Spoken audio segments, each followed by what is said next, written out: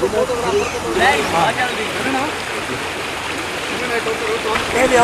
ज़िम्मेदारी नाल पकड़ना बच्चे मज़बूत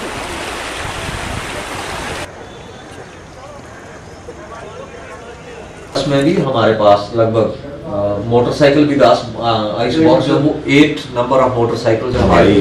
जो हमीरपुर की जितनी भी रिवर्स हैं मेन रिवर्स जिनमें फिशरीज या उसके साथ जुड़े बहुत सारे लोग जो हैं उसके ऊपर निर्भर हैं।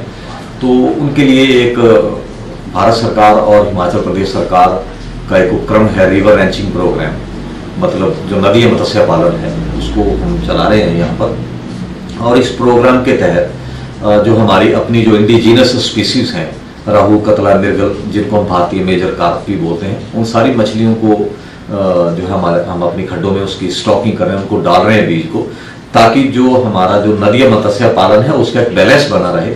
और उसके साथ जुड़े हुए बहुत सारे हमारे मछुआरे हैं। बहुत सारे ऐसे युवा हैं जिन्होंने लाइसेंस लिया हो फिशिंग का। उन लोगों के लिए एक रोज़गार उत्पन्न हो और जो हमारे मछुआरा वर्ग है जो इससे जुड़े हुए हैं उनकी जो जीविका है उस वो भी सुदृढ़ हो। और ये जो प्रोग्राम है रिवर रेंचिंग प्रोग्राम ये 2020 में माननीय प्रधानमंत्री जी और जो हमारे पशुपालन फिशरीज एंड डेयरी मिनिस्टर हैं पशुपति रूपाला जी अ, उनके द्वारा ये उड़ीसा से शुरू किया गया था। और इसका मेन मकसद यही है कि नदीय मत्स्य पालन से जितने भी हमारे जो मछुआरा वर्ग जो जुड़ा हुआ है, उनकी जो रोज़गार है या उनका जो आय है, उसको सुदृढ़ किया जाए। और नए जो लोग हैं, जो बेरोजगार हैं, उन बेरोजगार युवाओं के लिए स्वरोजगार का एक जो मौका है, वो उत्पन्न किया जाए। इसका मेन उद्देश्य यही है। और नंबर दो, इसमें यह भी है कि जो हमारी जितनी भी रिवर्स हैं, वो हमारी अपनी इंडिजिनस स्पीसीज के लिए बेस्ट हब हैं। उनके लिए बेस्ट वो वाटर है। तो उसमें उनकी ग्रोथ या उनका जो भी है वो सबसे बढ़िया रहेगा।